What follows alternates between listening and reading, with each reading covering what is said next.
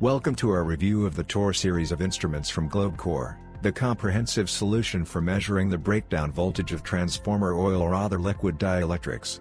Today, we'll be looking at three subdivisions, the TOR 80 device, the TOR 100 device, and the TOR 80 and TOR 100 devices with an accumulator battery. First up, we have the TOR 80, a compact and easy-to-use laboratory instrument that offers accurate and prompt information. It operates by gradually rising voltage on the secondary winding of a high-voltage transformer from zero to a maximum value or TOA value at which a dielectric breakdown occurs.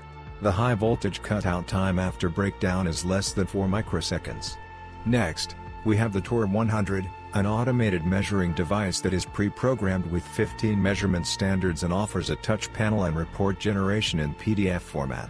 The TOR 100 functions with industrial oils and is recommended for a minimum sample volume of 1 liter. The device can generate reports and graphs after the last test cycle breakdown and can be connected to grounding for additional protection. Finally, for those who need to operate in the field, we have the TOR 80 and TOR 100 devices with an accumulator battery. The TOR 80A is a battery-powered field instrument that eliminates the need for sampling containers and saves both time and money. With one battery charge, the TOR 80A can perform 65 consecutive electrical breakdowns of transformer oil, which is the equivalent of 13 ASTM D181612 tests. The TOR 100A can also be ordered with the option of battery operation. All TOR instruments from Globecore are designed with safety in mind, with features such as electronic protection in the breakdown detector circuits and built-in sensor protection on the lid.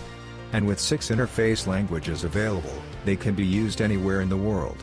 Overall, the TOR series of instruments from Globecore offers a comprehensive solution that is both reliable and convenient. For more information about the SE products and other Globecore devices, visit their website www.globecore.com.